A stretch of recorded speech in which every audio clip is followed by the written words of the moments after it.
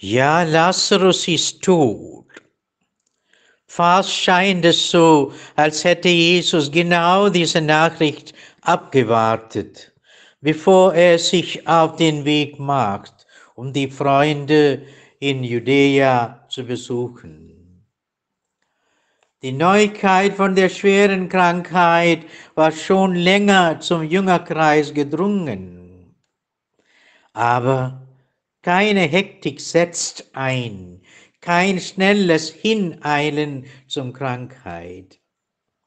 Jesus lässt sich Zeit und kommt am Ende an ein Grab. Trauernde Menschen erwarten ihn. Wärest du hier gewesen, dann wäre mein Bruder nicht gestorben. Aber Jesus sagt von sich selbst, ich bin die Auferstehung und das Leben. Lazarus, der treue Freund, ist bereits mehrere Tage tot. An ihm soll nun das Wunder geschehen. Lazarus, komm heraus. Er wird von den Toten auferweckt. Er kann den Verstorbenen wieder ins Leben zurückrufen. Und lapidar endet dann die Erzählung, löst ihm die Binden, lasst ihn weggehen.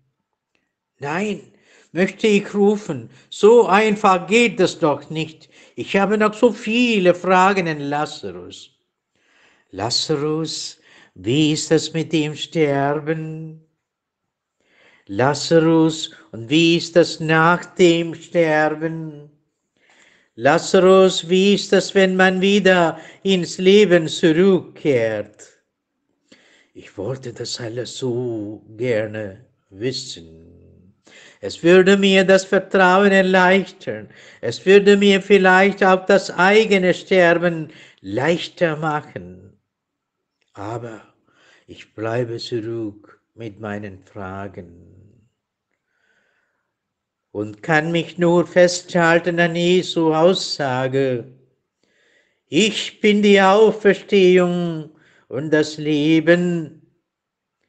Wer an mich glaubt, wird leben, auch wenn er stirbt. Danke Ihnen.